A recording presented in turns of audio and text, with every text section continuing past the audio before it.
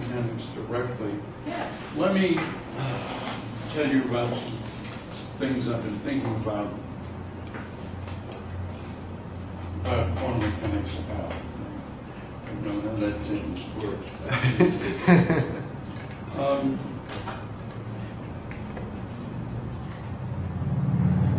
And basically, as we saw, classical mechanics, you can talk about a Hamilton system, you have Ha- a Hamiltonian, you have coordinates, conjugate momenta, and Hamilton's equations. And um, in classical physics, in principle, you could follow a point in phase space. In other words, you could, you have a, a Hamiltonian Q and P, Q being Q1, Q2, P being P1, P2. By the way, these Ps, uh, let me just mention what they come from. There's a Lagrangian, which is a function of the of the coordinates, the time derivatives of the coordinates, and possibly the time. The time could be there also. And pi is partial L, partial qi dot. Those are what these p's are. And um, when you form H from L, what you do is you invert these equations and solve for um, solve for the q dots as um, q dot of q and p and possibly t, and then you write h of q and p as um, sorry, I already made a mistake there. Where is the The eraser. Nice it's- eraser? is Yeah, it that that's, one? yeah, those things are so hard to use. Um, There's one right this here. Yeah, that's hard to use. There's a little. And there's a That's little one nice. right there.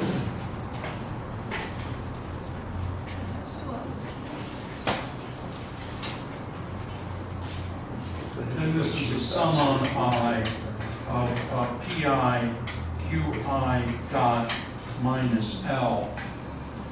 And, but here,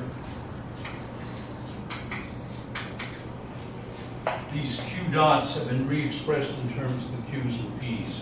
That's what the Hamiltonian is. And that re-expression in terms of q's and p's, it's trivial if the Lagrangian is quadratic in the q's and the q in the q dots, never mind the q, it doesn't matter the q's. If, if, if the Lagrangian is quadratic in the q dots, in other words, you have q dot squared or q dot i times q dot j, then it's easy to solve for the q, it's easy to compute p. In fact, p is essentially q dot, pi is essentially q dot i, and consequently, uh, solving for the q dots in terms of the p's is essentially trivial. If it's not quadratic in term, uh, in the velocities in the q dots, then it's a nightmare. And, um, okay, I won't lead you down that nightmare.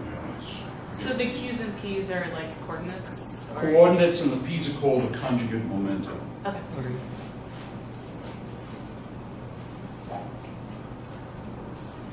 Anyway, that's classical physics and the, the, when I said Hamilton's equations, well, first of all, the, the equations for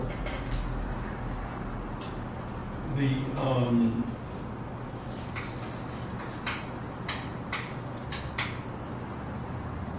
I'm- I didn't write this down, so I'm doing this from memory. Um, I think it's actually partial L, partial QI is QI double dot. And um, the, the Hamilton equations are QI dot is partial H partial PI, and pi dot is minus partial h, partial qi. Um,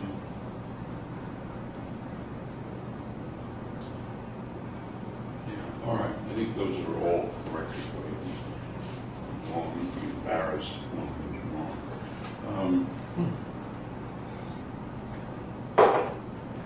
So, in fact, just to check this one, let's look at the Lagrangian, m over two q dot squared minus p of q. So this is a one-dimensional particle moving under a potential V. Then, um, what's going on? Well, F equals ma is just um, m q double dot, because that's a, ma equals minus partial V partial q, partial l partial q. So this is, these are the correct expressions. In the case of the Hamiltonian, in this particular case, um, you would have, first of all, that P would be partial L partial Q dot, and that would be M Q dot. And so that's the standard nonrelativistic expression for P. And then you'd say H is uh, P, Q dot, well, Q dot is P over M minus L, so that's P squared over M then subtracting L, Q dot is, well, MQ dot is P. So this um, is minus P squared over 2M plus V. So altogether, this is P squared over 2M plus V. So that's, that's just a review of classical mechanics. Now, well, the element, the elementary part of classical mechanics. As we saw when we looked at chaos and fractals uh, on Thursday, um, we noticed that um, only a very special set of systems are Liouville integrable, and the others we just can't solve, at least analytically. And uh, in many cases, we expect that the evolution of the trajectories are sensitive to initial conditions, and so there's a chaos. Uh, There's a- certainly the possibility of chaos. Of course, on the other hand, in modern times, we have all these computers, and so we can just climb down um, uh, on the computers. Now, quantum mechanics um, doesn't give us this detailed description of everything. Instead, we, we, quantum mechanics gives us probabilities. And um, the probabilities, for example, if, if a system is in some state psi, the probability of it being at Q is the inner product of those two vectors, absolute value squared. So this is P of Q given psi. Um, Or more generally, if the system is in the state psi, the probability of the measurement will find it to be in state phi is equal to P of phi given psi, and that's just the inner product of these two vectors. So these are, so, so inner products are, quantum mechanics is built in terms of inner products. And I'm using Dirac notation here, so psi, for example, might be, in some simple case, it might be um, cosine theta, sine theta, and then phi might be um, uh, 1 over root 2 e to the i phi e to the minus i phi, say. Just, I'm just pulling those numbers, those things out of uh, blue. And then the probability that if the system is in the state psi that we find phi, well, that inner product phi psi, what would it be? Well, it would be one over root two,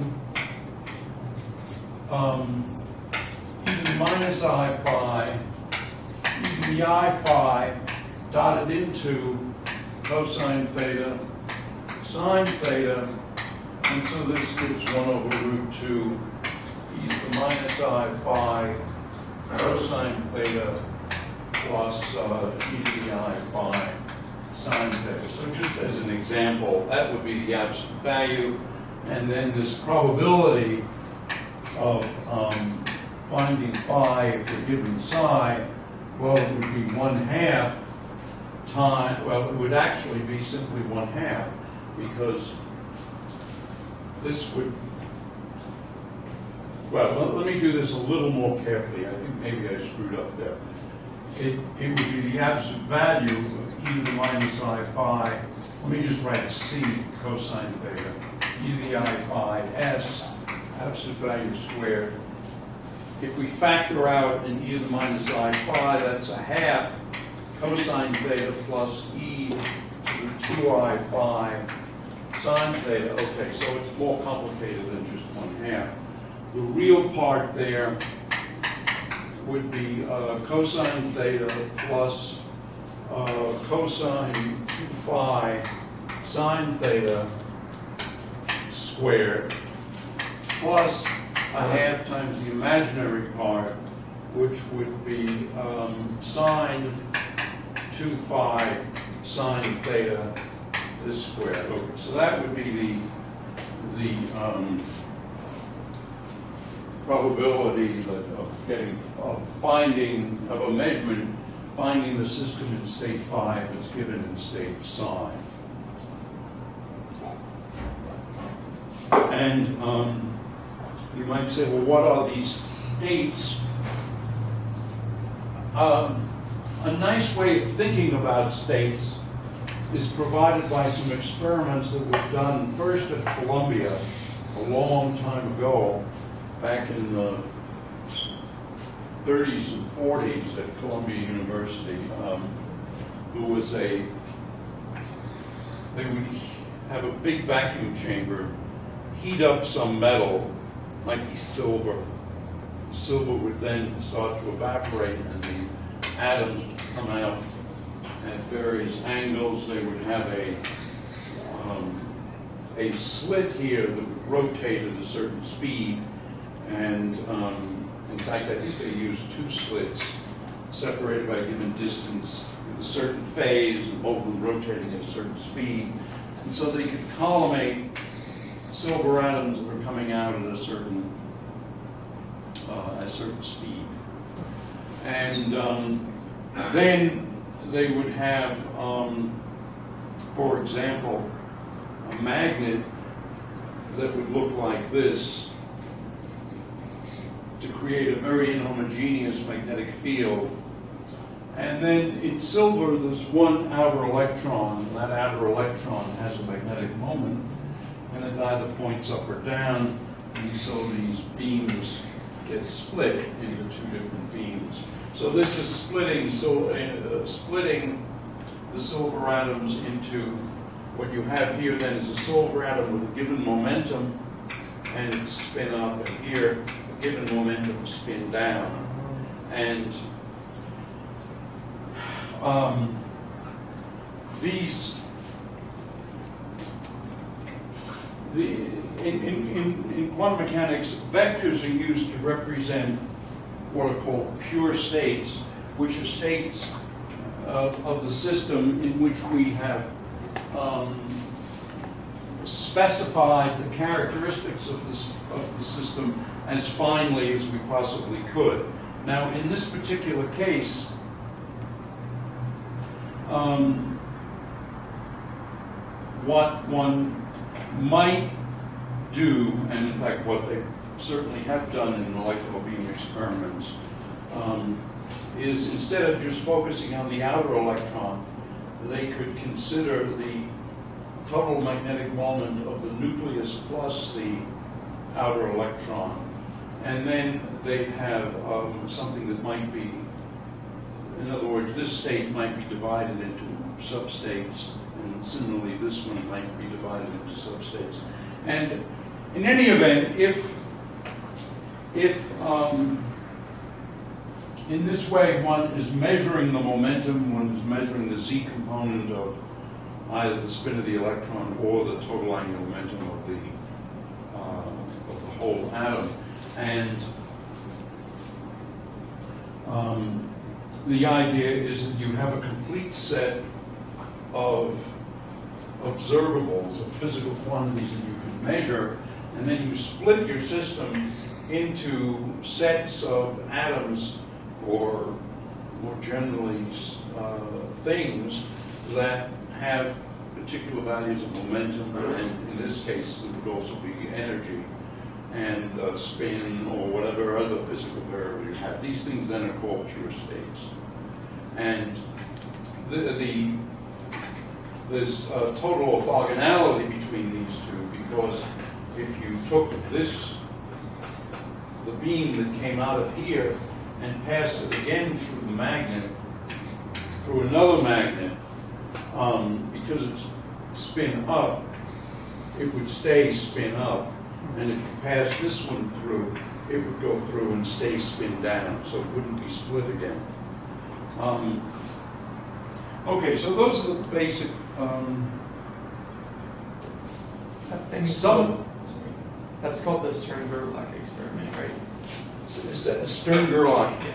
It's, um, that yes, that's right, that's right. Like In fact, that's what, what the surprising thing about the Stern Gerlach experiment is they, I think they probably did use silver, and they shot it through, and they found two um, images. In other words, they had played, played cold glass there. And this is all in a vacuum, of course. Cold glass, and it, they got two, as opposed to they thought they would have three. And so then they were Everybody was totally puzzled for a while, and then they realized that the spin of the electron was one half, and so there were two possible uh-huh. states.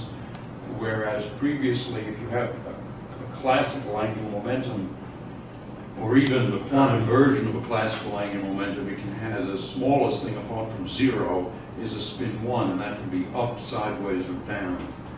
Were you going to say something? Oh, I was just uh, gonna ask why did they think there were three, but you just explained it. All right, so this is, the- these are some of the basic ideas. Now let me uh, tell you something that's kind of amusing, and in fact, it's something that people down that hall are very interested in. Let's first of all think now classically. So the classical probability of something, and um, let's for s- simplicity's sake position. Well, classically, it would be sum over various possible states of the system, the probability of Q given L, and then times the probability of L. In fact, if these things are mutually exclusive states, this is one of the formulas that we had in probability theory on day one of probability theory. And it's, it's just a fundamental idea of probability theory. If, if if something Q can happen in L ways and they're mutually exclusive, and each of the L ways has probability P of L, and the probability Q given L is that, then the sum over L is P of Q. Well, in general, this doesn't work in quantum mechanics. And this is, this is quite surprising. And the person who um, worried most about this first was Albert Einstein, actually. Um, So why don't we swing the camera all around a little bit? Um, So let's, let's consider a state that um, is, let us say, cosine theta, what do I call that? S plus sine theta S prime. And um, here the idea is that S and S prime are two orthogonal states, so SS prime is zero. And by the way, over here, when I said that these were orthogonal states, what I, what I mean is, of course, that P plus, the inner product of P plus with P minus is zero, because once you have a P plus state, if you then measure the spin, you still get plus, you don't get minus.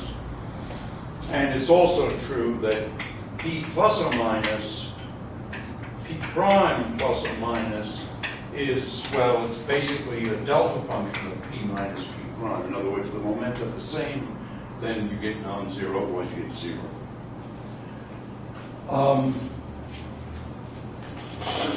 so now let's suppose what is the probability of Q uh, given psi? Um,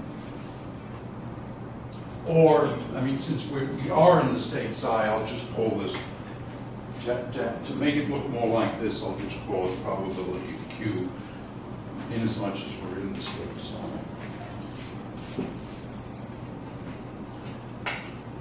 So, this would be, first of all, the probability of Q given S, this is classically, uh, times uh, the probability of S plus the prob- classical probability of Q given S prime times the probability of S prime, and again, classical.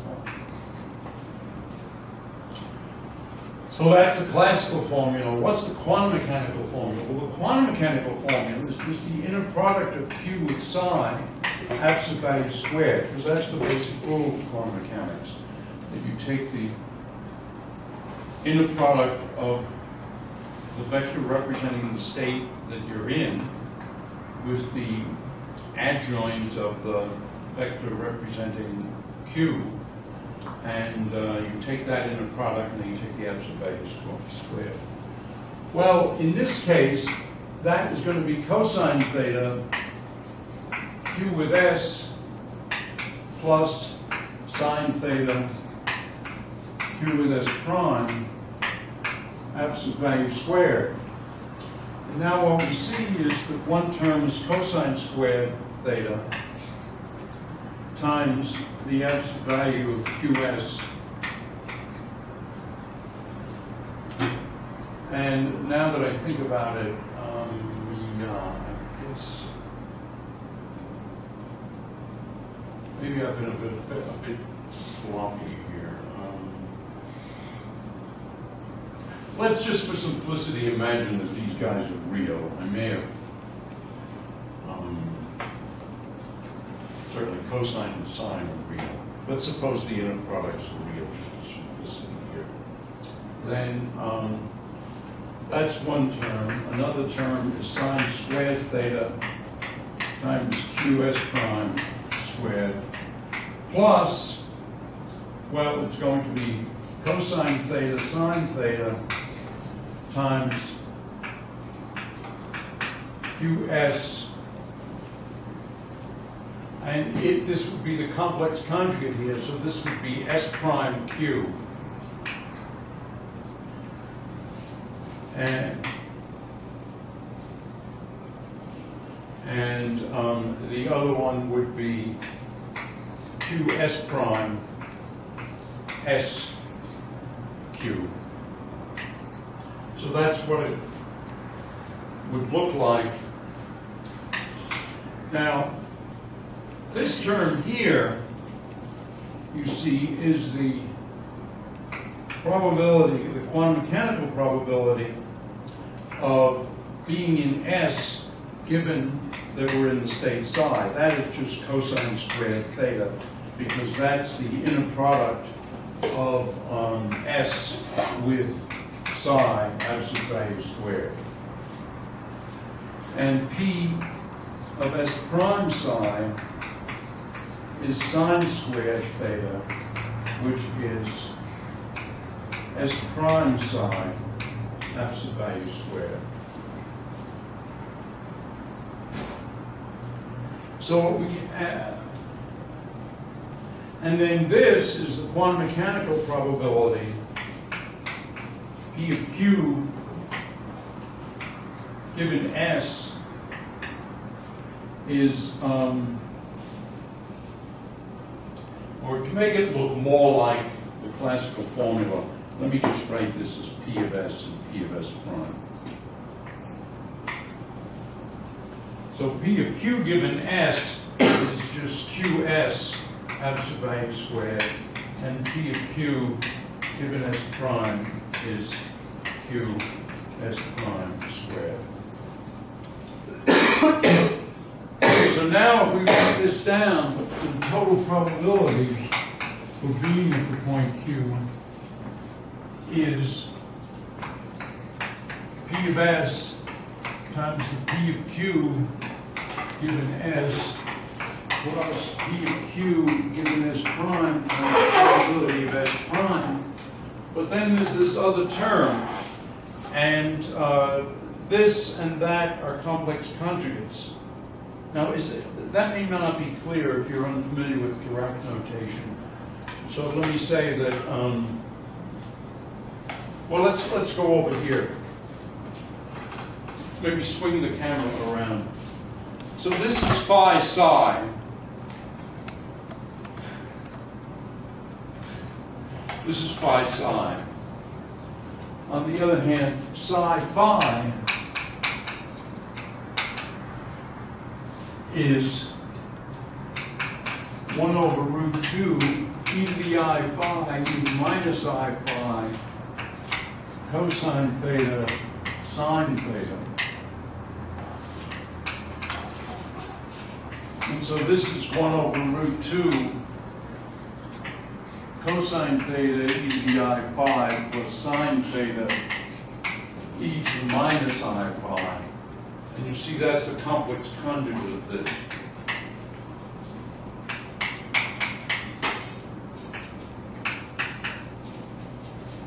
So the general rule is, in quantum mechanics, is that, um, or in Dirac notation, is AB is B A complex conjugate. But now we've got an extra term here, and this term is sine 2 theta, real part of QS S prime Q. So what we see here is that in this, in this very simple example, the classical formula would be P of Q is P of Q given S times P of S plus P of Q, Q given S prime, P of S prime. There's an extra term in the quantum mechanical formula. And this is is interference. Um, and when we have a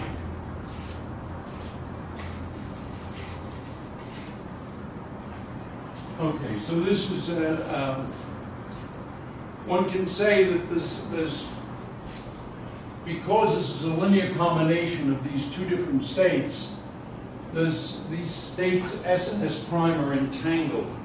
So this is an example of entanglement.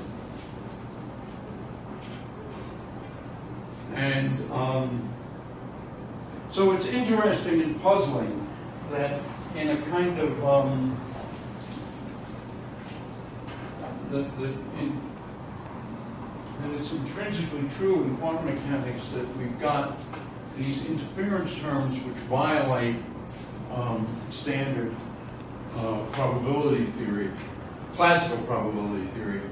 And um, as an example of this, suppose what we're actually talking about is a double slit experiment where we have particles coming in from left and um, if they go, the, we can imagine P of S being the probability of going through slit S and slit S prime being, P of S prime being the probability of going through here. Then, um, and this thing would be some distribution that would look like that. This thing would be some distribution that would look like that. And so classical probability would say, well, the probability of a particle winding up over here on the screen somewhere is just the sum of these two probabilities. Um, but quantum mechanically, we get this extra term, and um, this extra term means that the actual image is um, something that looks more like, oh God, this. Trying to draw something nice, but. um, So it comes down like that, but then it does something like this, so it looks more like that. And of course, this happens, uh, the beam here could be photons, but it could also, although it's technically much more difficult to do, this could, these could be electrons, they could be protons, they could be atoms, and whatever. It's just the wavelengths are very different. Does the interference have anything to do with Say the, say it again. uh, does the interference have anything to do with entanglement, or is those very separate? Um, yeah, it's a consequence of that, namely that because this, this, the state is a linear combination of two states, um, with a particular, that's simply a linear combination of the two states, that, uh, that, that the, the thing is entangled and consequently we get interference. Um,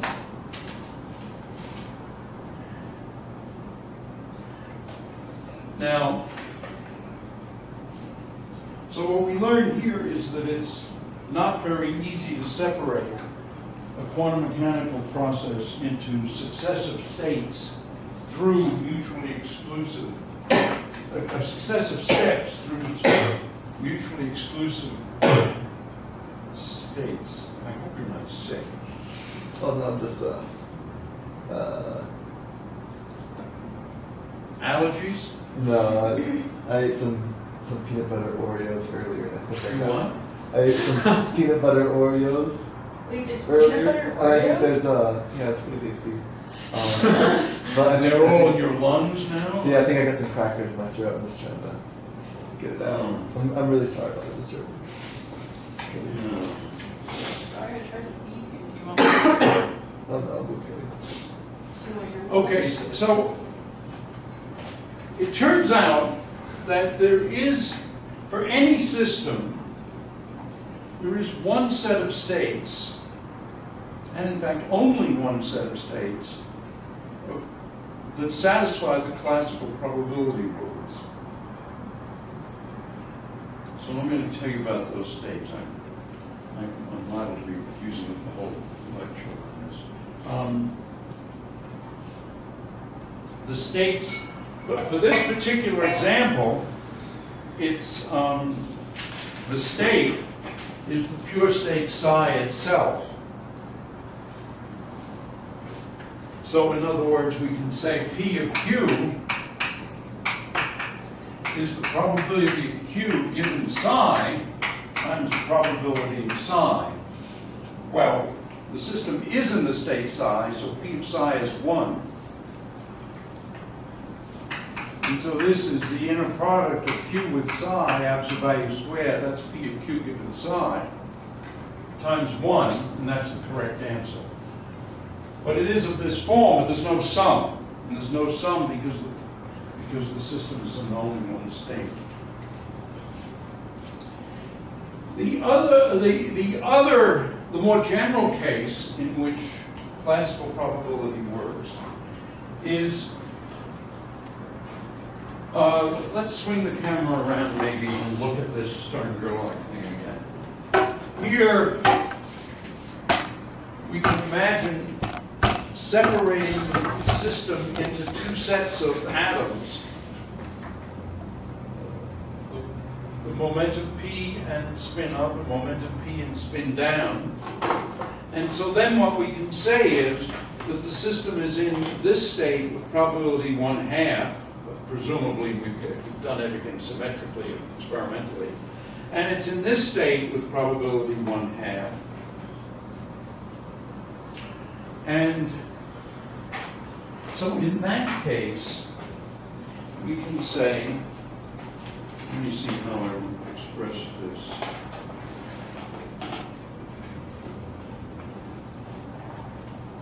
Well, we can basically say in this case, the prob- the probability Q is, um, what, well, by the way, I was using, as Q, I was using, I mean, as, as, I was letting Q stand in for any physical observable.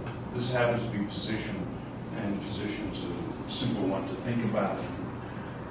Clear what it is, clear as physical variables, easiest to visualize, but uh, this could be anything. And um, in particular, at the moment, and if we go to the Stern Gerlach, and then instead of Q, we're talking about momentum and spin being up or down. And um, but anyhow, whatever it is that we're we're we're talking about here, it would be. Um, let's call instead of that, let's call it just phi.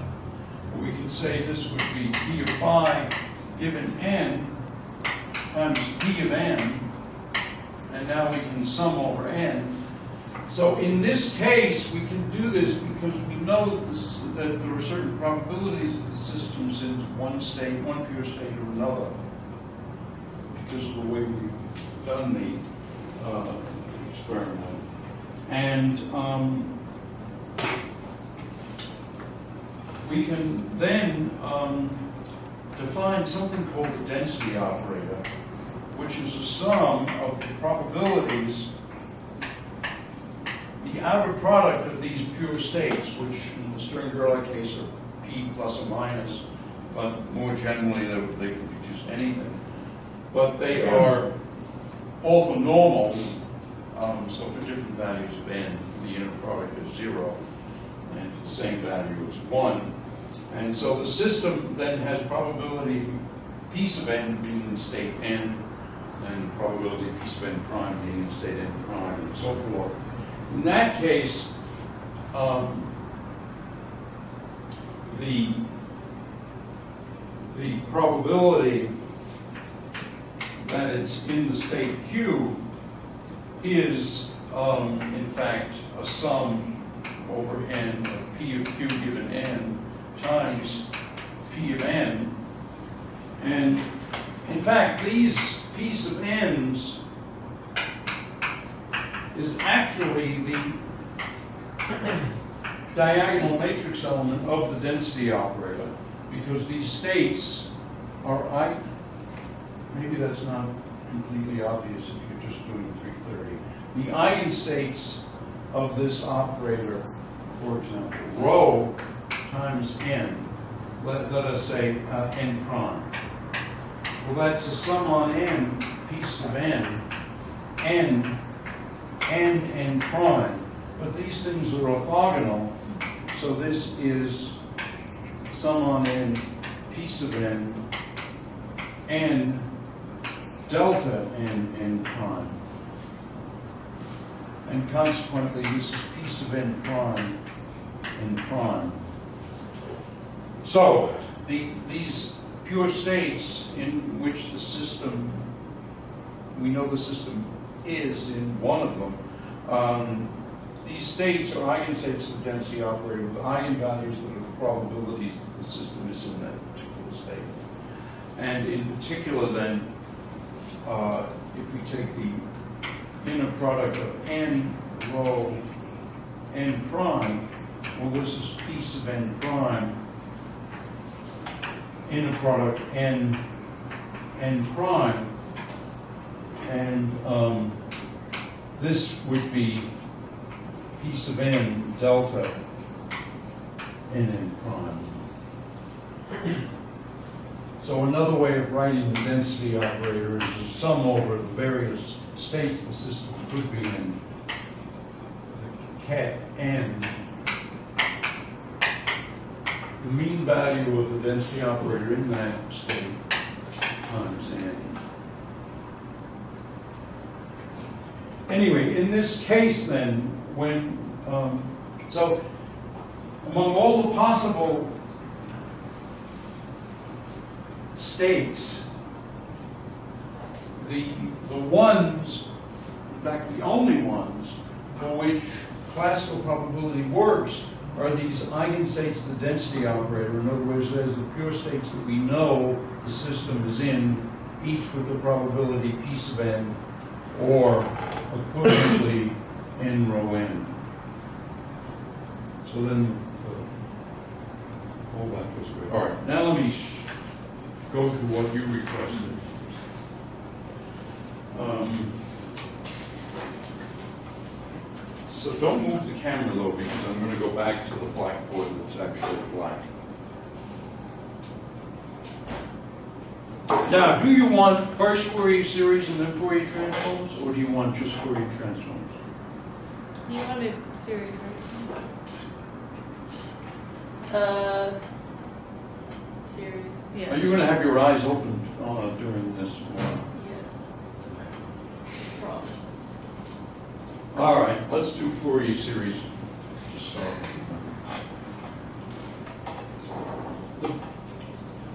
There's one key formula. Integral zero to two pi. e to the minus i m x square root of two pi. e to the i n x square root of two pi dx, which of course is integral 0 to 2 pi e to the i n minus m x dx over 2 pi. Now, two cases. If n and m are integers, if n is equal to m, this is e to the 0, which is 1. So this is the integral of 1 from 0 to 2 pi divided by 2 pi, so that's 1. But if n is not equal to m, then what happens is you're adding up these phases in a uniform way over all the points on the perimeter of the circle, and they add up to 0. Or equivalently, you can do the integral, and the integral would be e to the i n minus m x divided by i times n minus m. This is for n unequal to m. And you evaluate that at 0 and 2 pi. Well, at 0, this thing is 1. But at 2 pi, it's e to the i, an integer times 2 pi. That's also 1. So you get 1 minus 1, that's 0. So this thing is delta and n. So This is called, of the Kronecker delta. So this integral, so everything about Fourier series is a bunch of con- consequences of this formula. Um, we can rewrite some of this stuff in terms, in, in Dirac notation. We can say xn is e to the xn over square root of 2 pi. That's one way of thinking about these things.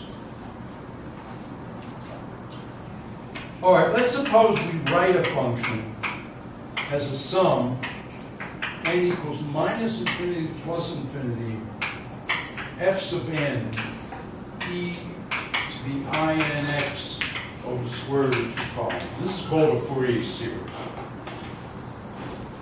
Question is, what are the f's? Well, the f's, we can find the f's pretty easily by just doing this. Integral 0 to 2 pi e to the minus i n x f of x over square root of 2 pi. This, I should have put the 2 pi under the e because it doesn't make any difference. dx. Well, this is integral zero to two pi e to the minus i and x or the square root of two pi times the sum on m from minus infinity to plus infinity because we're assuming that f can be written this way. I'm just changing n to m now. f sub m e the i and x square root of pi dx. All right, well, we know what the integral of e to the minus i n x of the square root of two pi times e to the i n x to the square root of two pi dx is. That's just the Kronecker delta. So this thing then is a sum m equals zero to infinity fm delta n m, and that's just x sub n. So in other words, if we write, we can write f of x in this way, then these coefficients f sub n must be given by this, these integrals, zero to pi, e to the minus i n x of the square root of two pi, f of x dx. So that's, that's the formula. And that's how Fourier series work. Um, we can write, if, if, if we write this as in Dirac, no, if we write x in, or we write the space vectors in Dirac notation that way, then we would write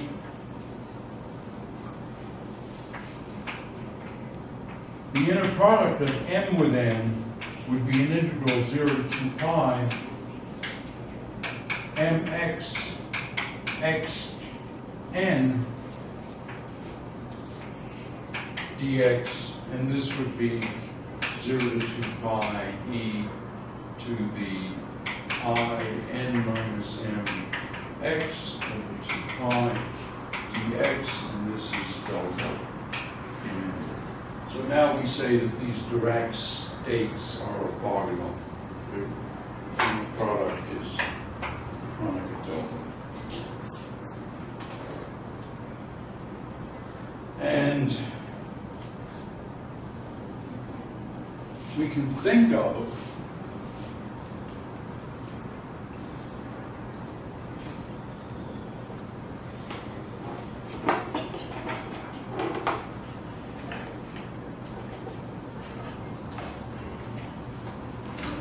the x, the inner product of x with n is that. And uh, we can think of an identity operator as an integral 0 to 2 pi outer products of the x vectors, or as a sum on n of outer products of the n vectors. And this notation then gives us um,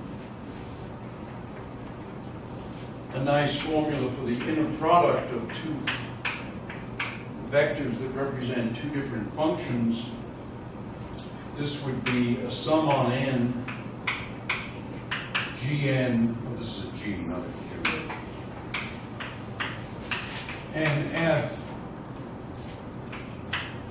or we write it as gn star f sub n, or as integral 0 to 2 pi gx xf dx, or as 0 to 2 pi g star of x f of x dx.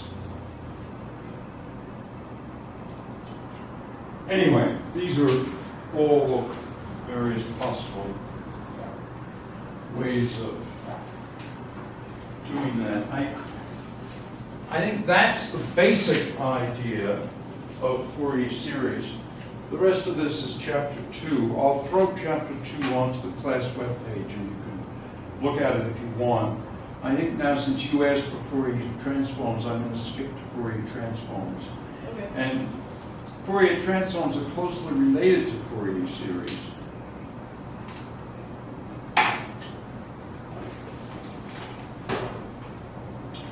Let me try it on the whiteboard now.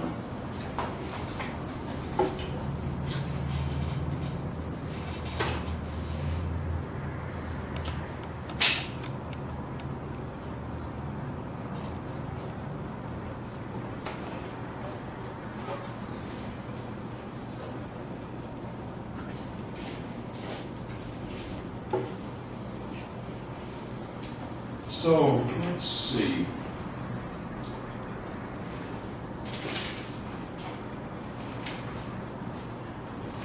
Let me first of all tell you what the Fourier transform relations are, and then I will um, give you a derivation of Fourier transforms, assuming that you believe the Fourier series.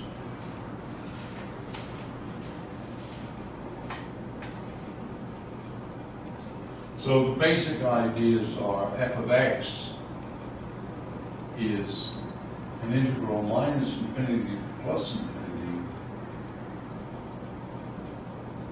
The transform, Fourier transform of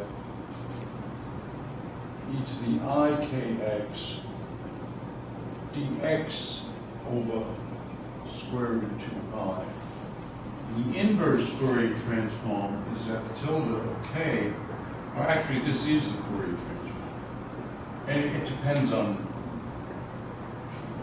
how you look at it. f of x e to the minus i kx dx over square root of 2 pi. Okay, so these are the Fourier transform relations. Um, By the way, in the case of um, the Fourier series, I adopted a symmetrical relation, a symmetric attitude toward where the two pi's go by writing them as square root of two pi's. I'm doing the same here, but you don't have to do this. You can say, oh, I'm not going to have any two pi's here. Then you have to have two of them here, two root two pi's. So you just have to. But if we stay symmetrical, then this, this is what it looks like. Now, let's, let's see if we can derive this. First of all, when, I talked about Fourier series, I had, I talked about an interval of length 2 pi. You can actually define a Fourier series on any length interval. And um, on a, an interval from minus L over 2 to L over 2, the Fourier series relation, relations are f of x is a sum f sub n, n goes again minus infinity to plus infinity, e, and now it's i times 2 pi nx over L divided by square root of L and correspondingly the coefficient f sub n is integral from minus L over 2 to L over 2 f of x e to the minus i 2 pi n x over L dx over square root of L.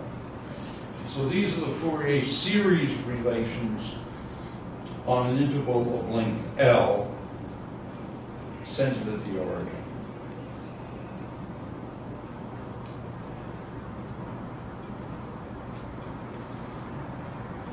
So now what I'm going to do here is chop this thing up in order to get it to look like an integral. And so I'm going to write this then as a sum on n.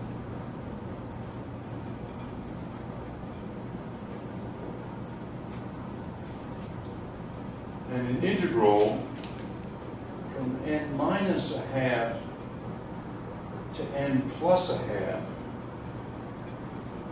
of something called f hat of y e to the i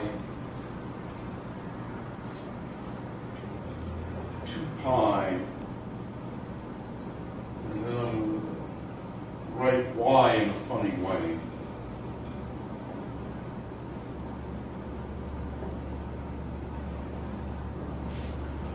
Okay, so what have I done here?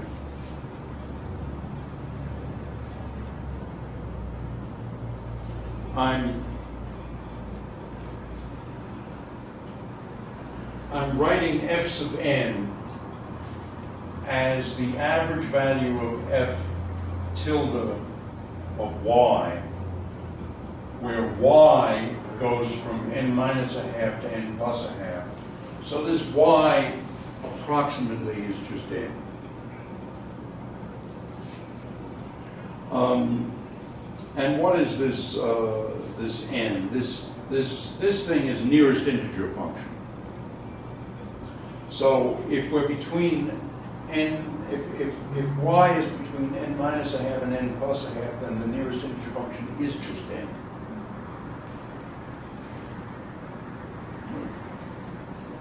But now, since we're adding up all these things, this really is just an integral from minus infinity to plus infinity. f hat of y e to the i 2 pi y x over L dy over square root of L. And um, um, Um, so, hold, hold on. okay, hand around. Hold on.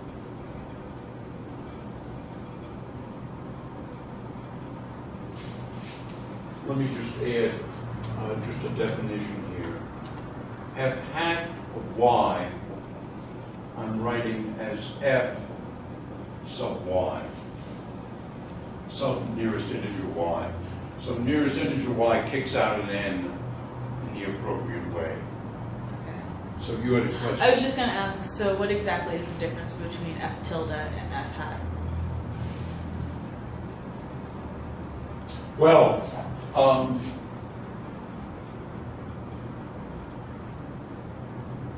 we haven't got that tilde yet. Oh, No, no, I, I wrote it down, but I'm gonna get there. okay, alright. But that's a good question, so you get at least. You ask a question? Not really. Well. Whoops, the back. Okay, now. Y and Y hat can only differ by. can only differ by a half. Okay. On the other hand, we're gonna send capital L to infinity, that's the limit we're taking here. So this interval here, I said was from, in Fourier series, we just start out by having an interval that's linked to pi. Here we're gonna have an interval that's longer and longer and longer. We're sending L to infinity.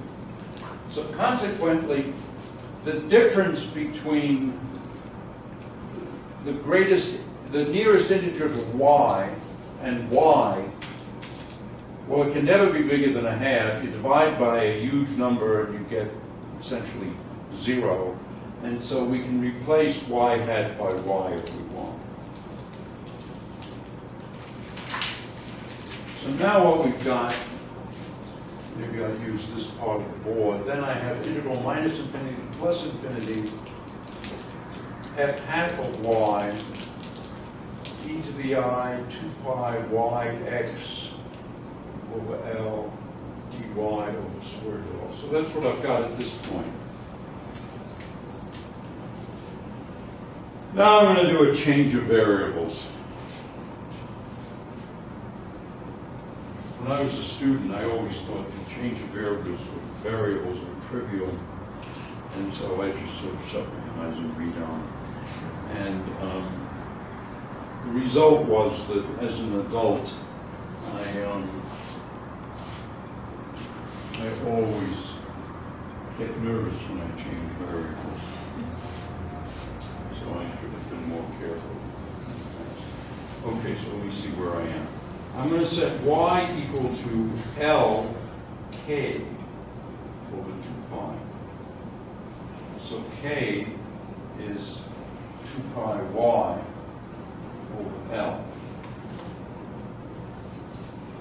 And so then, this integral f of x, which is this, is now equal to integral minus infinity plus infinity. F hat of y is f hat of lk over 2 pi.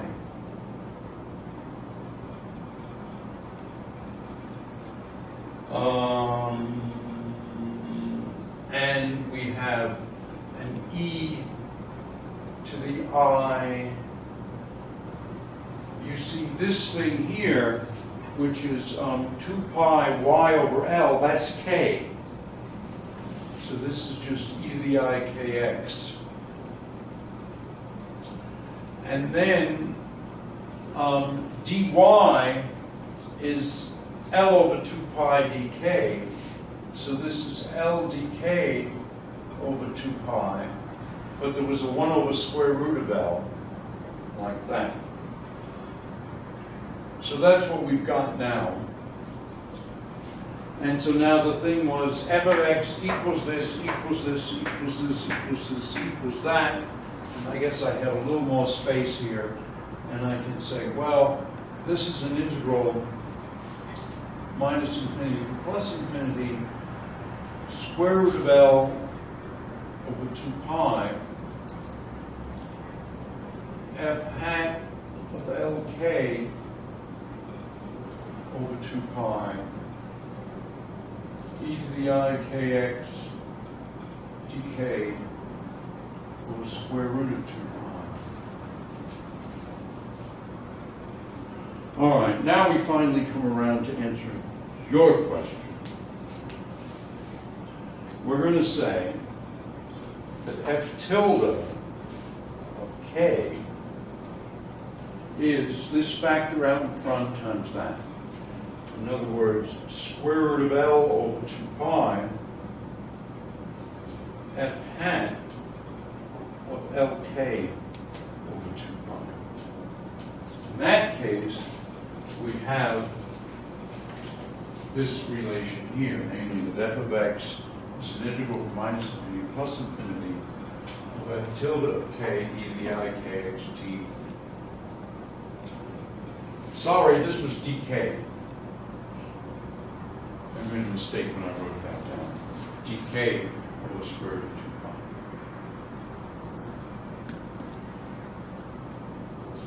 So that's, so what we've done then is we've said, if we can write, first of all, the, the, the first thing we do is we take what we learned about Fourier series and then uh, go from an interval of length 2 pi to an interval of length L. And then we take our Fourier series and we massage the hell out of it until we get it to look like a Fourier transform. The next thing, um, and now I'm, I'm worried about space. And the, the, the reason is that I don't have much of it left, but if I turn the board over, all the equations will be gone. So let's see what I can do. You could Um, erase part of the blackboard. Huh? You could erase part of the blackboard. We haven't really been using that. Well, what do you know? Okay. Well, wait, let me, let me see what I can get away with on this whiteboard. Um, Okay. I'll use a different color. So now,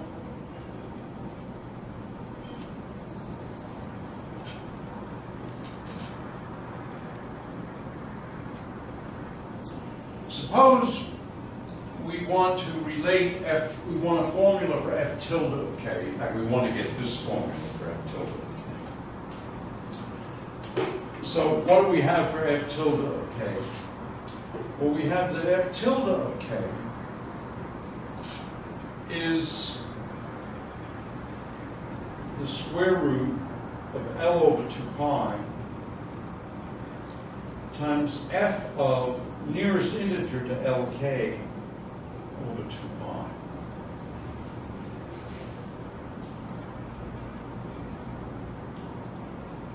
Well, I say, trust me, that's what we have. Okay. But if you, if you've written down all this, that will be uh, clear.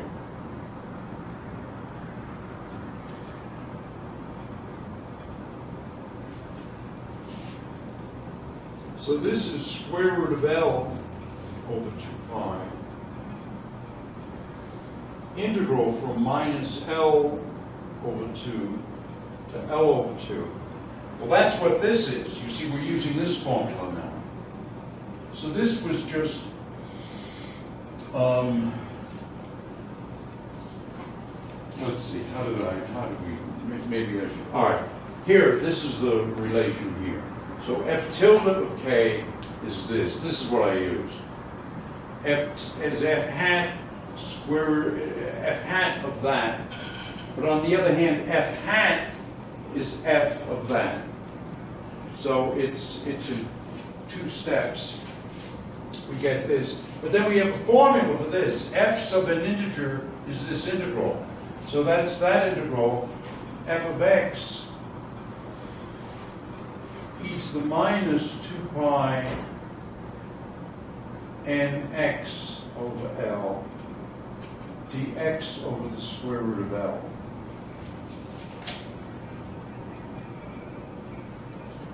And now this is just the integral from minus L over 2 to L over 2 f of x Remember what the definition of K was. This is E to the minus i k x dx over square root of 2 pi. Well, that's all, that- that's what we want. Because if we then send L to infinity, this formula gives us that exactly.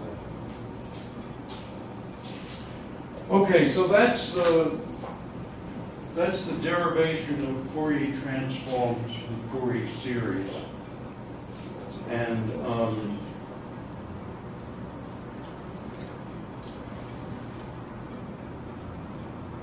I tell you what, I'll just put both of these chapters on the class webpage.